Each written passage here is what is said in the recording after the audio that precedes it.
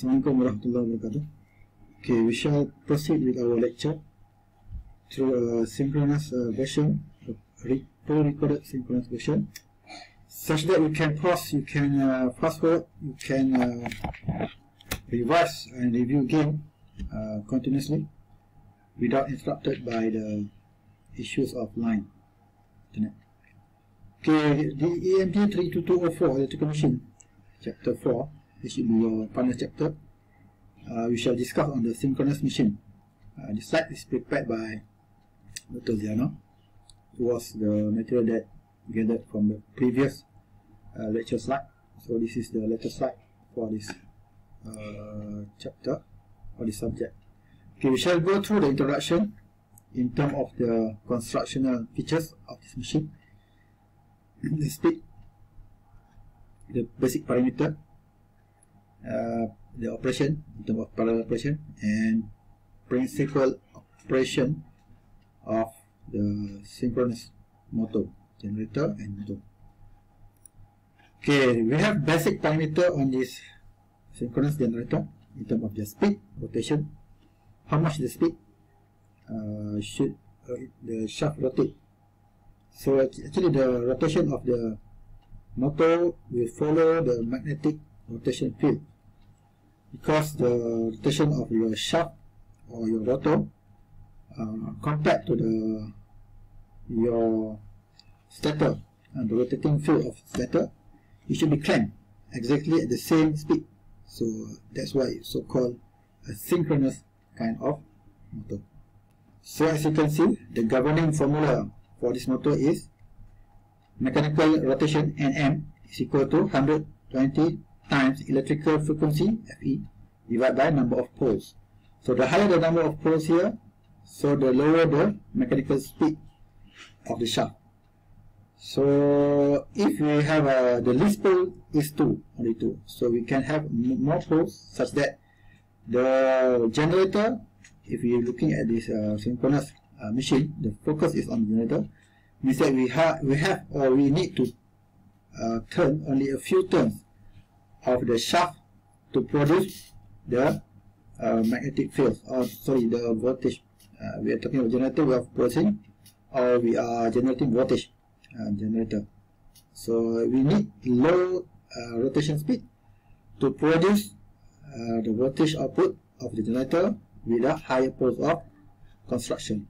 Okay let's take a look at the uh, example in the slide or in the notes. Okay we have here signal generator. We're talking about generator. Okay. So calculate the speed of rotation with a delta connected synchronous machine that has power rating here frequency and the number of poles. So how much is speed? So we have here mechanical speed is equal to 120 times f divided by p. And so we have 120 times f of 60 hertz. So 60 divided by number of pole which is 6.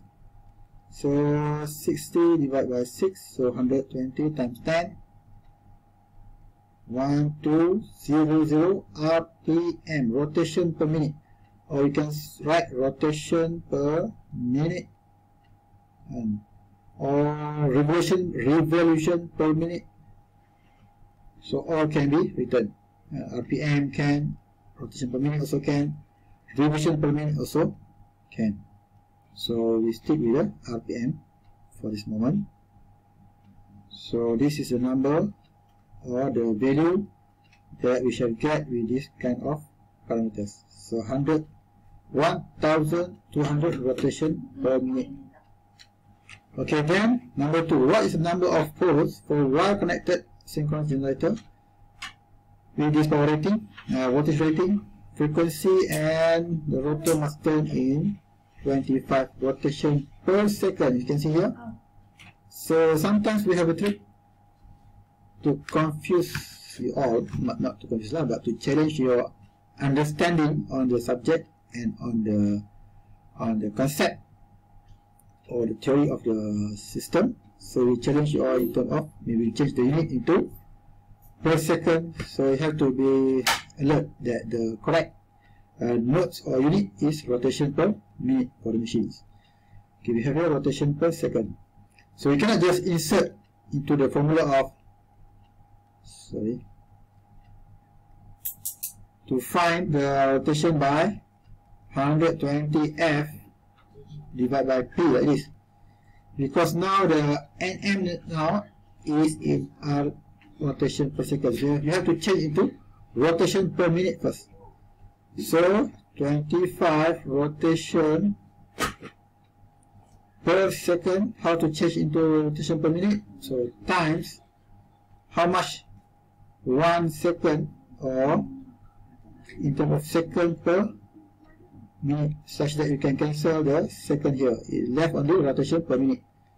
So we have how many second in one minute? Which is 60 second equal to 1 minute. So we shall have rotation per minute unit. So s cancel s r divided by min. Rotation divided by minutes. So we have rotation per minute. So 25 times 60 we shall have 100 uh, 1500 rpm so we use this value into the formula. So 1500 is equal to 120 times frequency of 50 hertz divided by So P is the parameters that we are looking for. So how much we get P? So P is 4. 1500, so, sorry, 120 times 50 divided by 1500. So you get 4 poles. Um, 4 poles. Sometimes we get the number of 3.8 like that or 3.9 like that. So the poles should be in integer number. So we have to round out into 4, let's say. Okay. As for example,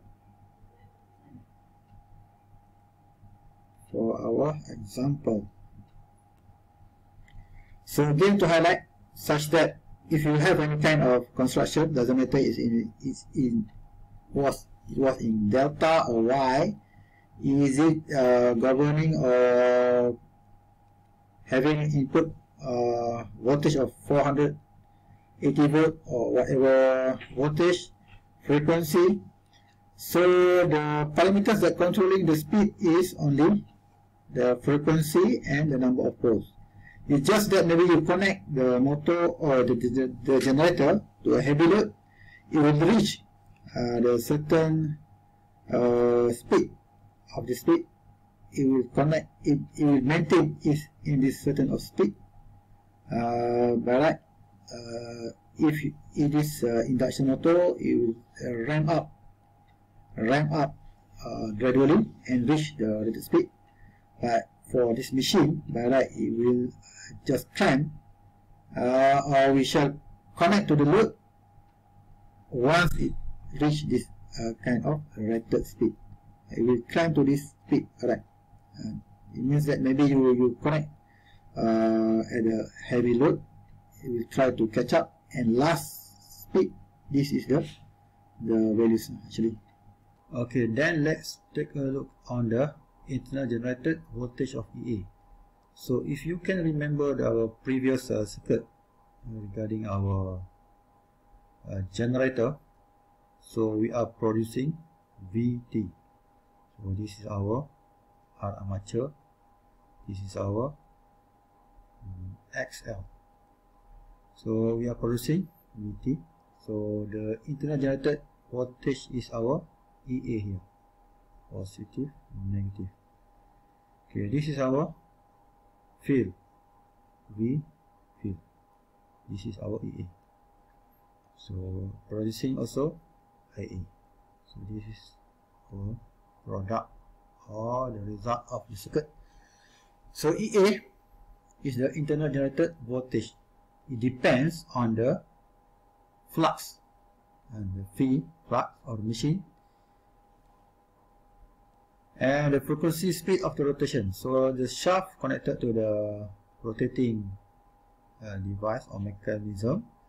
So the higher the speed, so the higher the EA will be generated. So the flux will be higher. So flux distribution and number of conductors at the angle of 0 degrees. So we have here the shaft, we have here the poles, north and south pole, let's say. So if we have a flux, the higher the field flux here, so the higher the EA will be. And the number of conductors at the angle of 0 degrees. So we have conductors all around. Have shaft, bigger shaft. So we have conductors, let's say we are taking a squirrel cage type before. Same goes to this uh, kind of uh, motors or generator. So we have flux, so the coil that remain or stay within this 0 degrees. So within here. So the core are considered as zero angle. The conductors that at zero angle of uh, this uh, flux. Let's say the conductors stay here or you're considering the conductors over here. So this is a 90 degrees angle. But this one is zero angle. Zero degree angle. But here is 90 degree. Okay, the EA is equal or will depends on the number of coil, coil here, number of conductors, and the intensity of the flux. So the other are constant. Then we have here K. This equation can be transferred into EA equal to K or the constant here times the variable of flux and variable of omega. Omega is equal to 2 pi f. So the higher the frequency, the higher the omega. 2 pi f. Frequency of our rotating shaft here. Okay, 2 pi f.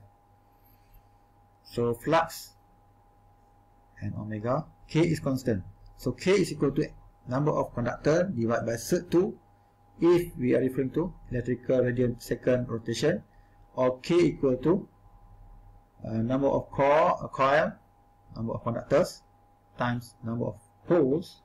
So we have here number of poles. So this is two poles, north and south, divided by Z2.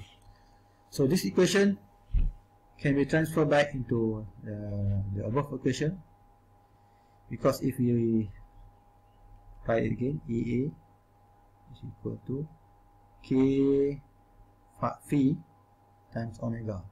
So K, if we take this one, so EA is equal to NC divided by, sorry, so NC divided by SERT2 here, then times phi and omega. Omega is the 2 pi f here, 2 pi f. So you shall get the same equation of EA equal to set to pi nc flux Vf. So you shall get the same as the equation here.